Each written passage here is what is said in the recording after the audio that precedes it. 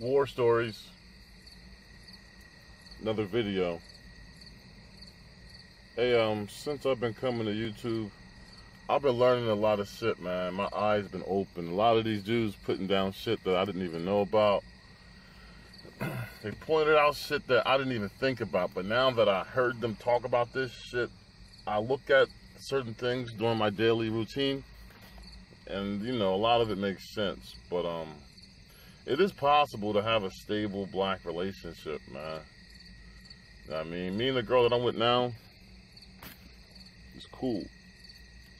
But like I was gonna say, I mean, it's it's possible to have a stable relationship and at the same time see and understand the dysfunction that's going on within the black populace.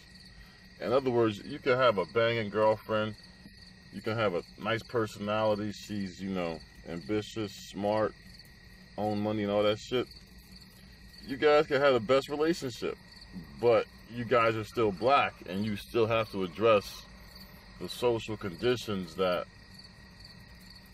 affect the black populace. Now, a lot of us say, hey man, I moved out of that environment. I don't live that life anymore. Why should I even care or even talk about that shit? Hey, you black and the dysfunction that's going on, you may not be a part of that dysfunction, but you should give your honest opinion from an outside point of view at the very least.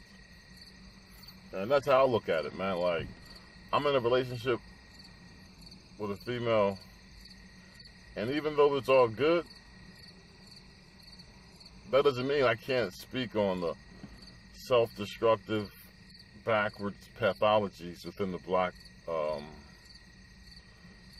collective. I hate saying community. I'm starting to not say that shit. I'm gonna start saying Black America or some shit. I'm gonna start saying Black America or some shit because I hate saying fucking community. So yeah, man.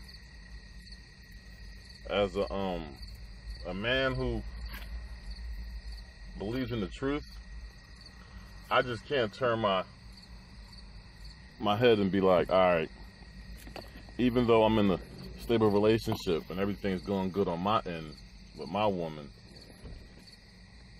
that doesn't mean I gotta ignore the shit a lot of these dudes on YouTube talk about. So yeah, I don't want everybody to think that all these dudes on here talking about females are not in relationships. Because I mean, you can be in a relationship and you could be in a positive, productive relationship, and the shit you hear about don't apply to your girl, or your woman, or your wife, or whatever.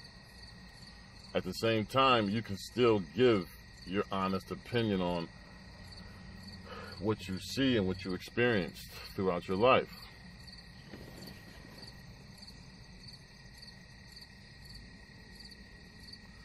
I honestly believe there are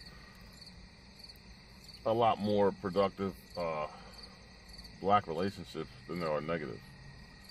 I think that there are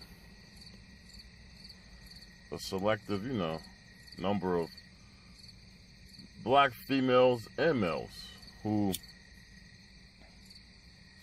either are, unable to um, connect with the opposite gender or they just are introverts who don't want to connect with the opposite gender. Whatever the case may be, there's an element within the black collective or the black populace in which people aren't happy relationship wise. Now, when I listen to a lot of the dudes on here, I take what they say with a grain of salt because you don't know if they're bitter from not getting any pussy, if they're bitter from not being in a relationship, or if they're bitter because they can't get the girl they want. Now, my understanding is that these dudes are frustrated that these bitches are making babies with losers and then they're blaming all black men for it. The conditions within the black collective. That's what my beef is. I don't got no problem getting bitches. I got no problem pulling these hoes. My beef is that I gotta answer. I have to answer for why there's a 70% out of wedlock birth rate. And I don't even have kids. But I still have to answer that shit.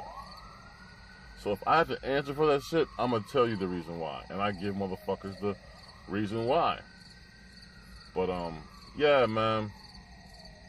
When you try to force productive black men to take responsibility for a mess they did not create, you're going to get pushed back. You're going to get pushed back, and that was my that's my only beef with these uh these bitches on YouTube complaining. That's my only beef, honestly. I don't really even fucking get caught up in all this bullshit because I know that most of it's coming from people who are miserable and cannot find a person of the opposite gender to make to make you know things go right.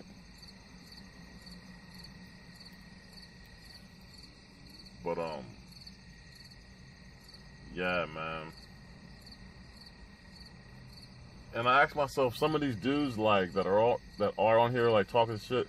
What if they find a chick while they're grocery shopping somewhere or fucking fucking going to the fucking car wash and they find a bitch that don't fit none of these negative stereotypes and they hook up and he's feeling it. Are, are these dudes gonna stop making videos?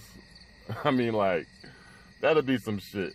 That'd be some shit. Like, you talk all this shit, you make all these fucking videos about these hoes, and then as soon as you come across a nice bitch that just blows your mind and she's feeling you, you're gonna stop making videos.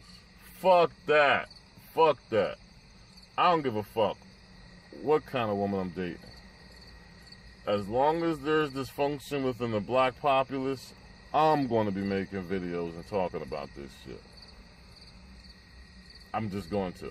Because I realize over time that if us as black folks don't hold each other accountable and, and shame each other about some of the shit we do, it ain't to get better. So, just because you're in a relationship, a stable, happy relationship, you can still talk about the dysfunction within the black community. Oh, fuck, why did I say that word? No, you can still talk about the dysfunction in black America. I don't call it a community because it's not a fucking community. A community is a family, a nuclear family together. A community that functions and operates. That's not what black folks have. Black folks have a bunch of single mothers who made poor choices in men. Bottom line. And these hoes been doing this shit for the past 45 years they just have a thing for losers.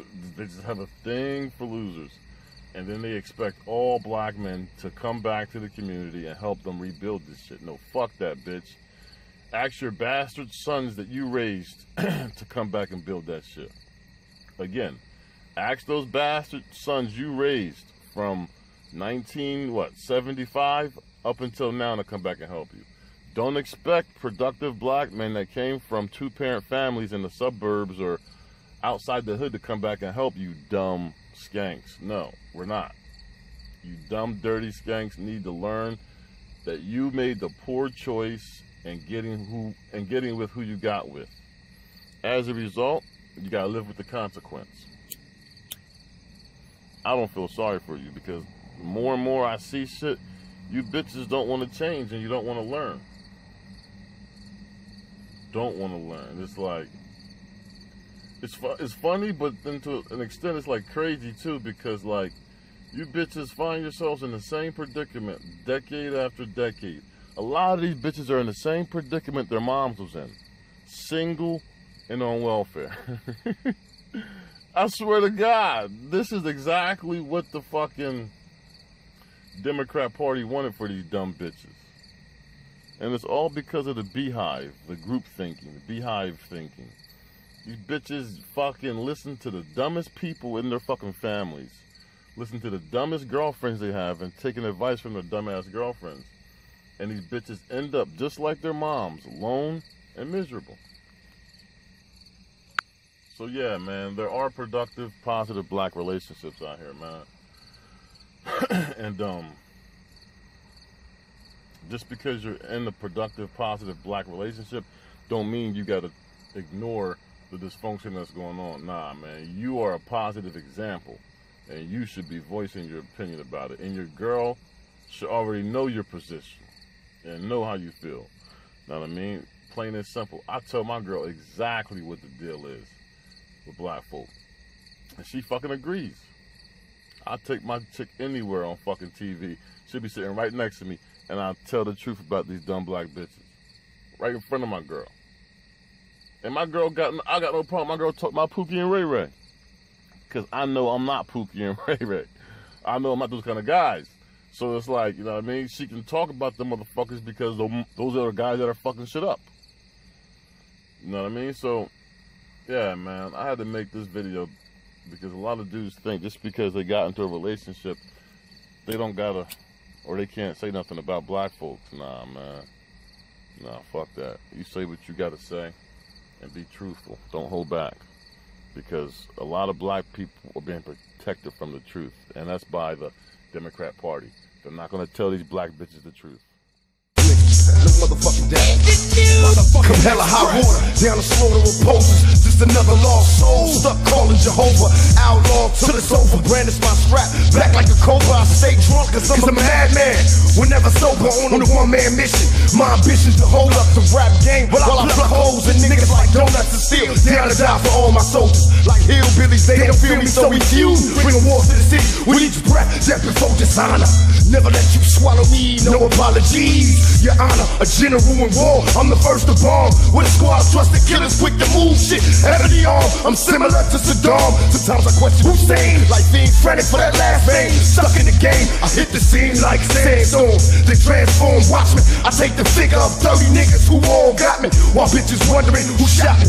No love, keep a grudge, shoot you slugs like Muammar Gaddafi. Murder my friends, build a new posse. We taking shots of paparazzi, don't go to fly now. Nigga like Rocky, you got a lot of nerve to play me.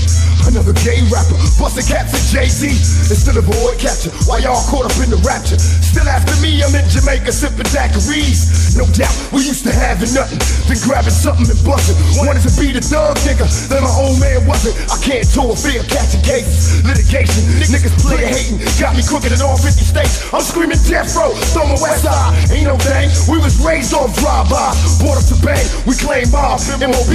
If you be specific, we control all cash from Atlanta. Pacific. And get this, I'm hard to kill when I build with this live spot. Father, how the hell did I survive these five shots? Live it up or give it up. And like demons, late night, hear them screaming. We going all